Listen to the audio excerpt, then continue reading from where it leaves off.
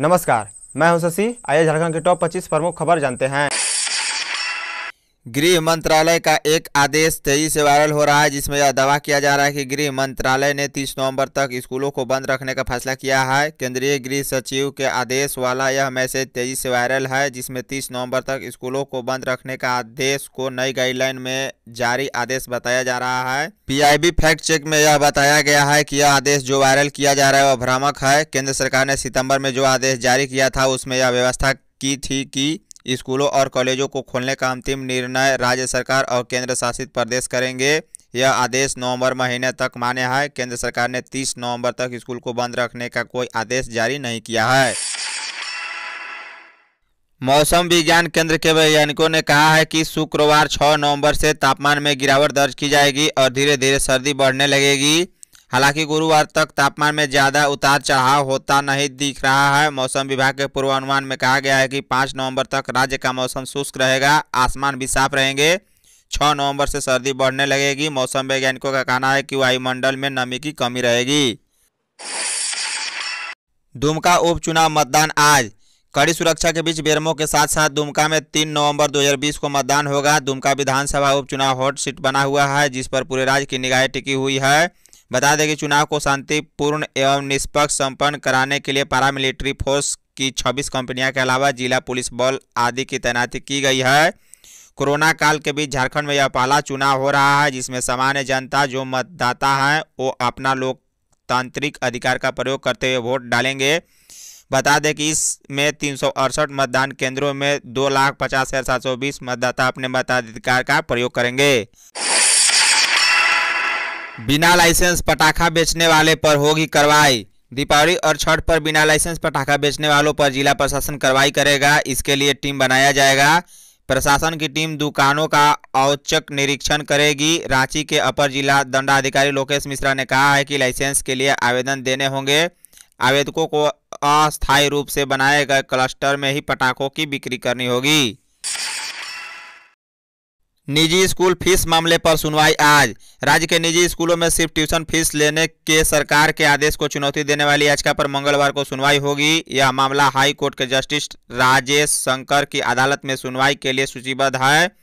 पिछली सुनवाई के दौरान अदालत ने राज्य सरकार से जवाब तलब किया था। इस संबंध में Jharkhand unaided private school association की ओर से हाई कोर्ट में याचिका दाखिल की गई है। दो तिमाही की लाइसेंस, फ़ीस माफ़ आज से खुलेंगे बार। रांची सहित पूरे झारखंड के बार संचालकों ने मंगलवार से बार खोलने का फैसला लिया है। उत्पाद विभाग के सचिव विनय कुमार चौबे से सकारात्मक वार्ता होने के बाद बार ऑनर एसोसिएशन ने बार खोलने का निर्णय लिया है। विभाग के सचिव विनय कुमार चौबे ने एसोसिएशन के सदस्यों को आश्वस्त किया है कि सरकार जल्द ही दो तिमाही की लाइसेंस, फ़ीस माफ़ करेगी। पंद्रह नवंबर से धान अधिप्राप्ति का कार्य प्रारंभ। उपायुक्त शशि रंजन ने सोमवार को अपने कार्यालय कक्ष में धान अधिप्राप्ति कार्य की समीक्षा की। ज़िले में धान अधिप्राप्ति का कार्य पंद्रह नवंबर से प्रारंभ किया जाना है। बता दें कि धान अधिप्राप्ति का कार्य प्रारंभ होने से पूर्व अधिप्राप्ति केंद्रों का चयन तथा चावल मिल का निबंधन एवं अधिप्राप्ति केंद्र के साथ संबद्धता आवश्यक है। इसके लिए उपायुक्त की अध्यक्षता में जिला स्तरीय अनुश्रवण समिति का गठन किया गया। है गंभीर बीमारी के इलाज के लिए ग्यारह लाख बहत्तर हज़ार की स्वीकृति मुख्यमंत्री। मुख्यमंत्री गंभीर बीमारी उपचार योजना के तहत लोगों को मदद पहुँचाने को लेकर सोमवार को समिति के पदाधिकारी एवं सदस्यों की बैठक हुई। सदर अस्पताल परिसर में आहूत इस बैठक में ग्यारह लाख बहत्तर हज़ार सात सौ चौवन रुपये की राशि स्वीकृति की गई। उक्त राशि से गंभीर रूप से बीमारी तीन लोगों का उपचार किया जाएगा। तीन हज़ार रेल कर्मियों को साढ़े चार करोड़ रुपए वापस करने का आदेश। रांची रेल मंडल के तकरीबन तीन हज़ार कर्मचारियों को रात्रि भत्ता के साढ़े चार करोड़ रुपए वापस करने होंगे। इस संबंध में रेलवे बोर्ड का आदेश आने के बाद रांची रेल मंडल के कर्मचारियों में खलबली मच गई है। बता दें कि कर्मचारी इस फैसले के खिलाफ एकजुट हो गए हैं। कर्मचारी इसे गलत बताते हुए फैसले को वापस करने की मांग कर रहे हैं।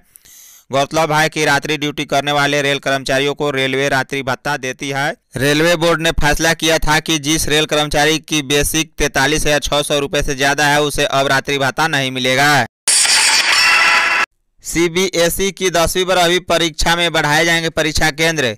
सीबीएसई द्वारा दसवीं और बारहवीं की परीक्षा को लेकर अभी से ही तैयारी शुरू कर दी गई है। इसे लेकर परीक्षा में कितने छात्र एक रूम में बैठेंगे या कक्षा में कितने बेंच लगाए जाएँगे, इस पर सीबीएसई ने अपनी तैयारी शुरू कर दी है। फ़िलहाल सीबीएसई एक रूम में 12 परीक्षार्थियों को बैठाने और 12 बेंच लगाने का फैसला लिया है। 12 परीक्षार्थी अगर एक रूम में बैठाए जाएँगे तो उन्हें सेंटर की संख्या में बढ़ोतरी करनी होगी। झारखंड में 403 नए संक्रमितों की पुष्टि हुई। जो रांची से 122 बोकारो से 27 चतरा 8 देवघर 35 धनबाद 50 दुमका 6 पूर्वी सिमू 40 गढ़वा 13 गिरडी 6 गोडा 10 गुमला 7 हजारीबाग 8 जामतरा 3 खूंटी 11 कोडरमा 6 लातेहार 4 लोहरदगा 4 पलामू 18 रामगढ़ 4 साहिबगंज 2 सरायकेला 7 पश्चिमी सिंहभूम 12 मिले हैं। झारखंड में कुल संक्रमितों की संख्या एक लाख चौबीस सौ नब्बे है, जबकि छियानवे हज़ार चार सौ पचासी लोग स्वस्थ हुए और आठ सौ छियासी की मृत्यु हो गई। भारत में कुल संक्रमितों की संख्या बयासी लाख छियासठ हज़ार नौ सौ चौदह है, जबकि छिहत्तर लाख एक हज़ार चार सौ उनतीस लोग स्वस्थ हुए और एक लाख तेईस हज़ार एक सौ उनचालीस की मृत्यु हो गई। भारत में नए केस सैंतीस हज़ार पाँच सौ बानवे मिले हैं, जबकि अंठावन हज़ार पाँच सौ चौबीस लोग स्वस्थ भी हुए हैं। भारत में इस समय कुल एक्टिव केस पाँच लाख चालीस हज़ार आठ सौ तिरासी है, वहीं झारखंड में एक्टिव केस इक्यावन सौ उन्नीस है। गुमला के घाघरा में भाई बहन की हत्या करने वाले संदिग्धों का पुलिस ने जारी किया पोस्टर। झारखंड पुलिस मुख्यालय ने सोमवार को एक पोस्टर जारी कर गुमला जिला के घाघरा में हुई भाई बहन की हत्या के आरोपितों की खोज के लिए आम जनता से सहयोग मांगा है। जारी पोस्टर में दो संदिग्धों की तस्वीर है और लिखा गया है कि पुलिस को इनकी तलाश है। इन संदिग्धों की सूचना देने वालों की पहचान गोपनीय रखी जाएगी और इनके एवज में उचित इनाम दिया जाएगा। माँ छिन्नमस्तिका की पूजा कर निकलते द्वार पर गिरे दीपक प्रकाश। भाजपा के झारखंड प्रदेश कार्यकारी अध्यक्ष दीपक प्रकाश माँ छिन्नमस्तिका के द्वार पर ही गिर पड़े। उनके साथ हुआ यह हादसा, चंद पलों में ही वायरल हो गया। बता दें कि सोमवार की शाम प्रदेश कार्यकारी अध्यक्ष दीपक प्रकाश रजरापा माँ छिन्नमस्तिका दरबार में पहुँचे थे। यहाँ पे वे झारखंड की दो सीटों पर हो रहे उपचुनाव के जीत का आशीर्वाद लेने आए थे। हाथियों के आतंक से निजात दिलाए वन विभाग। तोरपा के विधायक कोचे मुंडा ने राज्य के प्रधान मुख्य संरक्षक को स्पष्ट चेतावनी दी है कि दो दिनों के अंदर तोरपा और कर्रा प्रखंड क्षेत्र में आतंक मचा रहे जंगली हाथियों को दूसरी ओर खदेड़ा जाए और ग्रामीणों को उनके आतंक से निजात दिलाए। अन्यथा क्षेत्र की जनता सड़कों पर उतर कर आंदोलन करेगी। विधायक मुंडा ने सोमवार को रांची के डोरंडा स्थित वन भवन जाकर प्रधान मुख्य वन संरक्षक और अन्य अधिकारियों से मुलाकात की और उन्हें जानकारी दी। खूंटी जिला से लेवी वसूलने आए पीएलएफआई के तीन उग्रवादियों को पुलिस ने दबोचा।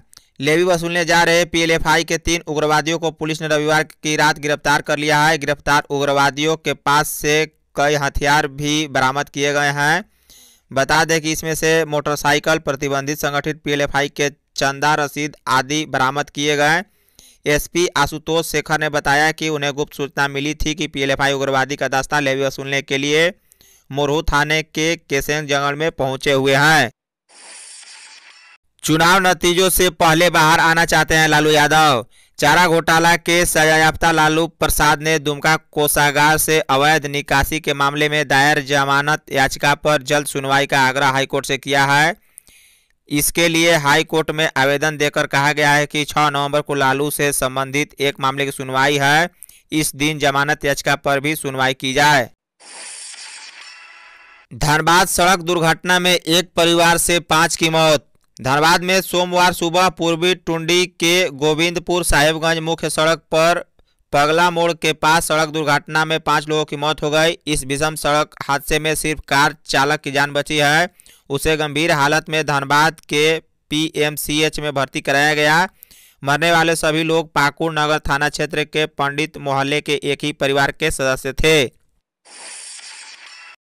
राज्य में एडवोकेट प्रोटेक्शन एक्ट लागू हो। राज्य के अधिवक्ताओं के साथ लगातार घटनाएँ घट रही है। इसी मुद्दे को लेकर सोमवार को ऑल इंडिया लॉयर फोरम के प्रदेश अध्यक्ष दीपेश कुमार निराला और महासचिव सत्येंद्र प्रसाद ने झारखंड स्टेट बार काउंसिल के अध्यक्ष राजेंद्र कृष्ण से मुलाकात कर ज्ञापन सौंपा, जिसमें अधिवक्ताओं के साथ लगातार हो रही घटनाओं पर संज्ञान लेते हुए कार्रवाई सुनिश्चित करवाने और इसके लिए झारखंड एडवोकेट प्रोटेक्शन एक्ट लागू करवाने की बात है। अवैध रूप से कोयला लेकर आ रहे सात ट्रक जब्त। धनबाद पुलिस ने सोमवार को पश्चिम बंगाल के रानीगंज से अवैध कोयला लेकर आ रहे सात ट्रक को पकड़कर निरसा थाना ले आई डीएसपी विजय कुमार कुशवाहा के नेतृत्व में पुलिस ने टू पर अवैध कोयला लेकर आ रहे सात ट्रक को जब्त कर लिया। उन्होंने बताया कि यह ट्रक पश्चिम बंगाल के अल्लाह हरखा नाम के व्यक्ति ने बनारस की मंडी के भेजे थे। पलामू में वैक्सीन को लेकर जिला टास्क फोर्स की बैठक। लोग डरे नहीं कोविड टेस्ट करवाए, खुद को और अपने परिवार को कोविड से बचाए, उक्त बातें उपायुक्त शशि रंजन ने कही। वे सोमवार को जिला टास्क फोर्स की बैठक की अध्यक्षता कर रहे थे। जिला टास्क फोर्स की बैठक के दौरान जिला में कोविड 19 के रोकथाम के लिए हो रहे कार्यों और मौजूद स्वास्थ्य इंफ्रास्ट्रक्चर की समीक्षा की। बैठक में कोविड 19 को लेकर ज़िले में की जाने वाली तैयारी की भी समीक्षा हुई। धन्यवाद।